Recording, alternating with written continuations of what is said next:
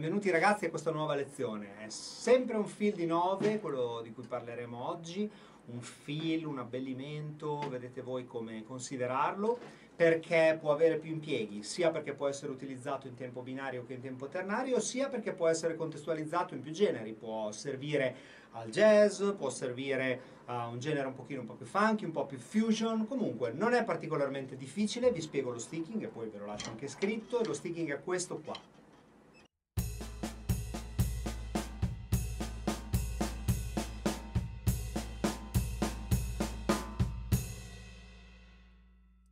Un punto dove ci sono due colpi di cassa consecutivi, dove il piatto suona una volta soltanto e sul secondo colpo, in quell'attimo lì ci può essere un pochino più di respiro, diciamo così, per le mani che vi permette di ottenere una maggior velocità.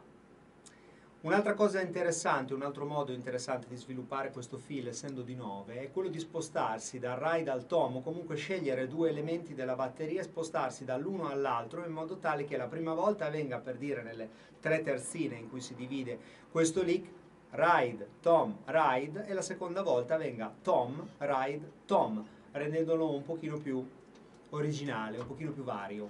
Proviamo a sentire questa soluzione.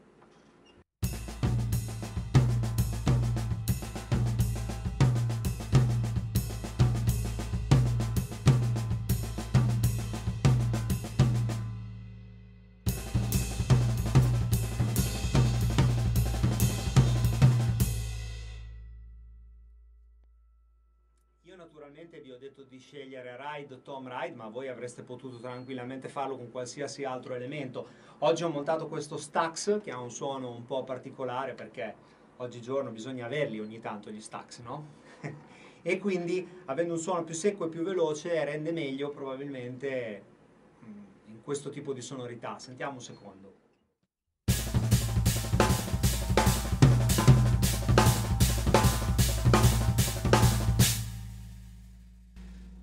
Se ne può vedere anche una versione incrociata.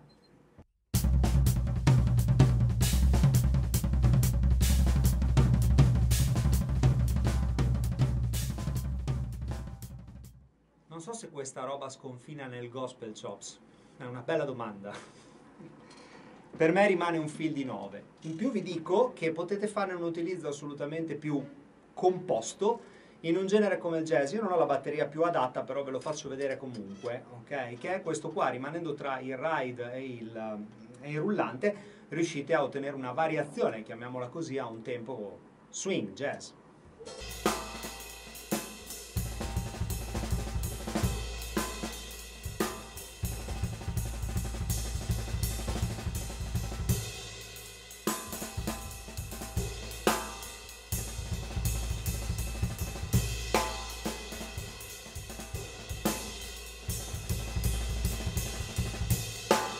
Questa potrebbe essere una soluzione. Poi bisogna anche capire sempre se si vuole utilizzare questo fill in un tempo, se lo si sta utilizzando come variazione a un tempo binario o ternario, per cui un po' come è stato per il precedente, sentiamolo su una pulsazione ternaria.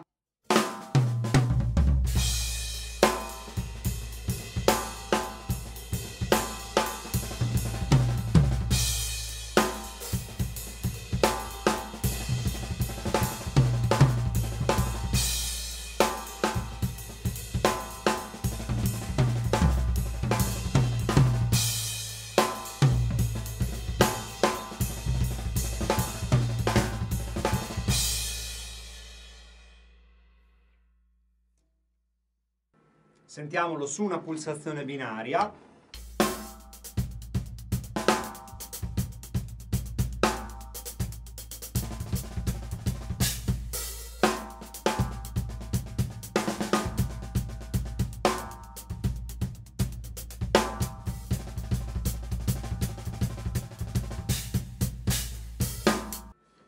Considerate anche la possibilità di non partire in battere, ok? È sempre una possibilità che rende un pochino più saporiti i nostri fill.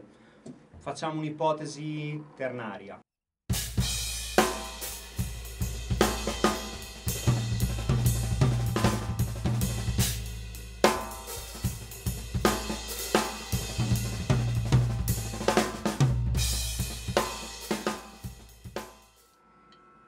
La stessa cosa potete fare in un tempo binario.